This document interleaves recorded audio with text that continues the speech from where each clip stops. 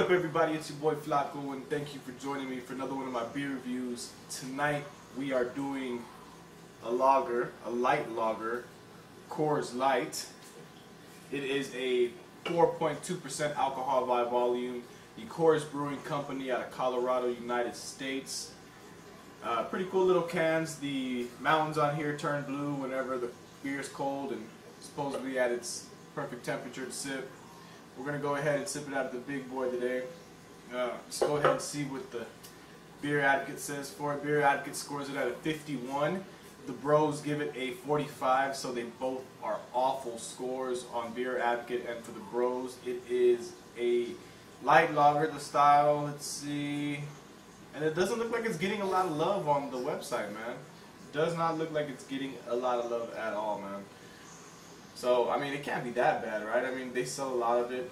America's most refreshing beer, right? Let's go ahead and check the Beer Buddy. If you don't have the Beer Buddy app, you see that? That's cool that you scan the barcode. Check this out. Do this live. Boom. Boom. And bam. Pulled it up right there. Coors Light. Uh, they scored at 1.35, so even a low score here, and it says a 4% alcohol by volume on this. 105 calories per 12 ounces. So if you're watching your diet or whatnot, I guess that's important to you guys. Not really important to me. Um, let's go ahead and do it to it.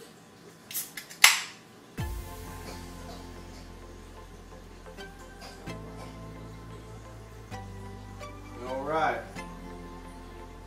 Let's try to get us a head on it. All right, all right. So off the rip, it looks like it's going to be pretty well carbonated. I'm getting a lot of bubbles on here, a nice little head. We were a little aggressive with it.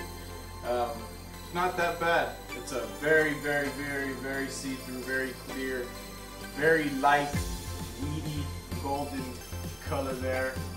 Barely golden. I mean, uh, I mean, more yellowish gold, if anything. Uh, the head dissipated really quickly carbonation's going away pretty quickly as well. And uh, that's pretty much it, man. I mean, it's nice, light, fluffy. Little head on there, but it's going away pretty quickly, man. So the bubbles are still there. Let's see if I can get it. There you go. Bam, look at that. Let's see if there's anything left in here.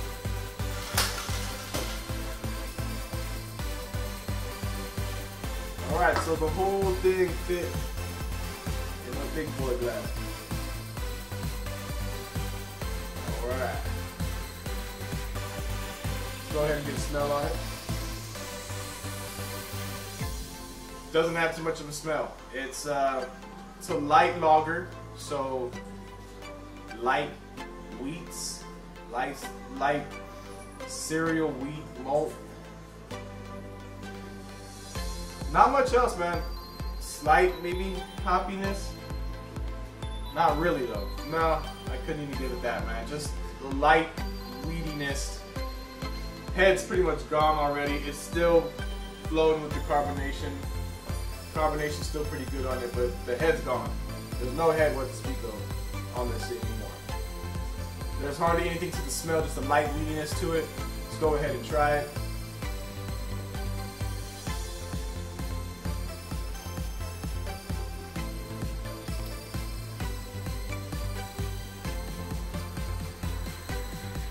Yeah, man, it's it's a simple beer. It's a simple beer.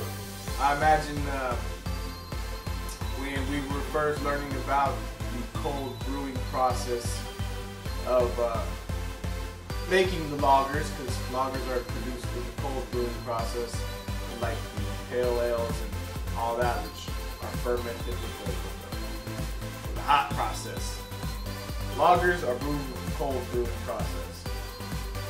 But uh, I imagine this is what it kind of first tastes like, the first stuff. I mean, without too much flavor. It's really light, man. It's really light. It doesn't have too much. It's not too complex. It's just, it is what it is, man. It's a simple beer. It is uh, water, wheat, graininess, and sugars, man. Slight sweetness to it. That's it. That's all this beer is. This beer is a basic and even a lighter take on the basics too. This would probably be like chopping your ingredients in half. Right down the middle. This would be chopping your ingredients down to half, man. This is uh, the basics. Touching ground with Brewers 101 right here, man. This is. I mean,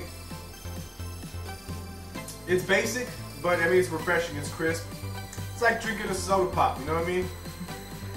On a on a hot day, lawnmower, backyard barbecue beer.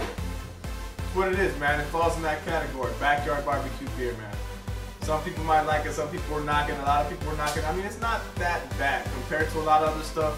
You know, compared to Bud Light, at least this does have somewhat, some kind of a flavor to it. Not far from the Bud Light, though. Not very far from it, but it does have more of a flavor to it, in my opinion. Not to against you Bud Light sippers, in my opinion. Like I said, it's only my opinion. But, uh, backyard beer, man, not that bad in the lager world, in that world, in that category. You can't put it in there with the with the pale ales and all the the home craft brew stuff. You can't put it in there, so I won't put it in there.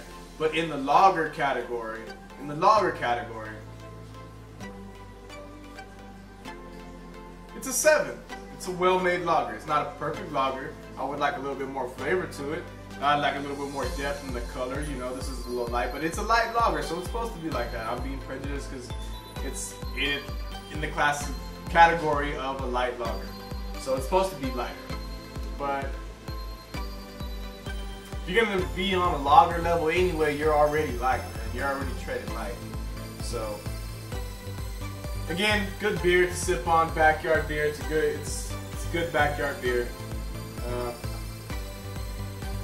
piss water if you're gonna just drink it just to go for it. I mean, not bad. Not a waste of money. I wouldn't buy it. I mean, I would. I bought it. What am I saying? I wouldn't buy it if it was something that I would choose to. Bought it today because you know I never, I don't do lagers ever. I don't do any, so that's why I picked it up today, just for you guys, just to try it out. But if I had a choice between this and a craft beer, I'd go with the craft. There's no question, no question. Craft beer all the way, man. Craft beer.